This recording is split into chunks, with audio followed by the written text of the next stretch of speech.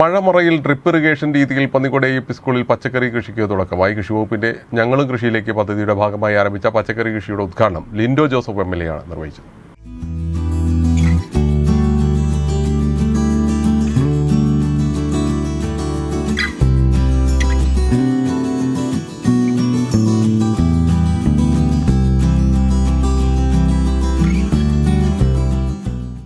ജൈവ പച്ചക്കറി വിദ്യാർത്ഥികൾ ഉൾപ്പെടെ ശീലമാക്കുക. കാർഷിക രംഗം വിദ്യാർത്ഥികൾക്കും പരിചയപ്പെടുത്തുക. വിഷമയമായ ഇതര സംസ്ഥാന പച്ചക്കറികളിൽ നിന്നും ഒരു പരിധിവരെയെങ്കിലും മാറി നിൽക്കുക തുടങ്ങിയ ലക്ഷ്യങ്ങളോടെയാണ് പന്നിക്കോട് എ പി സ്കൂളിൽ പച്ചക്കറി കൃഷിക്ക് തുടക്കമായത്. കാർഷിക വികസന കർഷകക്ഷേമ വകുപ്പിന്റെ ഞങ്ങളും കൃഷിയിലേക്ക് പദ്ധതിയുടെ ഭാഗമായാണ് പച്ചക്കറി വികസന പദ്ധതിയിൽ ഉൾപ്പെടുത്തി പ്രൊജക്ട് അധിഷ്ഠിത സ്ഥാപന പച്ചക്കറി കൃഷി ആരംഭിച്ചത്. ഏറ്റവും ആധുനിക രീതിയിൽ മഴമറയിൽ ഡ്രിപ്പ് ഇറിഗേഷൻ സൗകര്യത്തോടെയാണ് കൃഷി ആരംഭിച്ചത്. എക്കാലത്തും കൃഷി ചെയ്യാൻ സാധിക്കുമെന്നാണ് ഇതിന്റെ പ്രത്യേകത.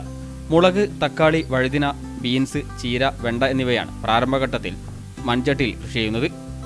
തിരുവമ്പാടി നിയോജക മണ്ഡലം M L A Linto Joseph പച്ചക്കറി കൃഷിയുടെ ഉദ്ഘാടനം നിർവഹിച്ചു.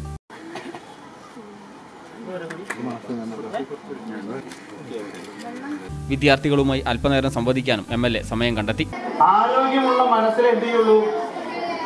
എന്തുണ്ടാവുള്ളൂ? ആരോഗ്യമുള്ള ചിന്തയുണ്ടാവും അല്ലേ? നമ്മുടെയൊക്കെ ശരീരം എപ്പോഴും ആരോഗ്യമായിരിക്കണം. ഇപ്പൊ നമ്മൾ കഴിക്കുന്ന പല വസ്തുക്കളിലും വിഷാംശങ്ങളുണ്ട്. അത് നമ്മുടെ ആരോഗ്യത്തെ ക്ഷയിപ്പിക്കും. നമ്മുടെ പഠനത്തെ ബാധിക്കും നമ്മുടെ കളികളെ ബാധിക്കും എല്ലാത്തിനെയും ബാധിക്കും. അപ്പോൾ നല്ല പച്ചക്കറികൾ നമ്മൾ ഉൽപ്പാദിപ്പിച്ചാൽ നമുക്ക് നല്ല ആരോഗ്യം ഉണ്ടാകും.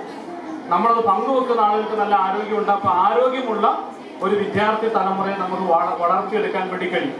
ചടങ്ങിൽ ഗ്രാമപഞ്ചായത്ത് പ്രസിഡന്റ് ഷംലൂലത്ത് അധ്യക്ഷയായി.